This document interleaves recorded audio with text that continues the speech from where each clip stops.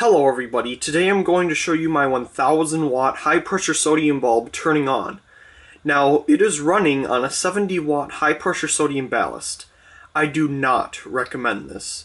Running a higher wattage bulb on a lower wattage ballast is not good for the ballast. So I do not recommend doing this at home. So anyway, let's turn off these lights. Let's give this a shot. Here we go. It will have a very hard time striking an arc due to that uh, obviously a 70 watt high pressure sodium tube is a lot smaller than this one. It's about this size compared to the 1000 watt tube. As you can tell it is still trying to strike an arc and uh, that just went out. Either bulb just burned itself out, which the bulb was already cycling when I got it, so it wasn't good in the first place. So, we'll turn it off, and we'll try again.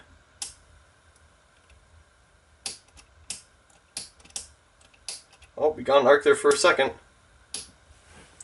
We'll try again. Oh, got something. As you can tell, the 70 watt high pressure sodium ballast is having a very hard time trying to strike an arc in this bulb. I did get it to light up halfway, but uh, that was probably very hard on the ballast itself. Oh, we're getting something. Let me turn it off and turn it on again. Sometimes that does help. Like I said, I do not recommend you doing this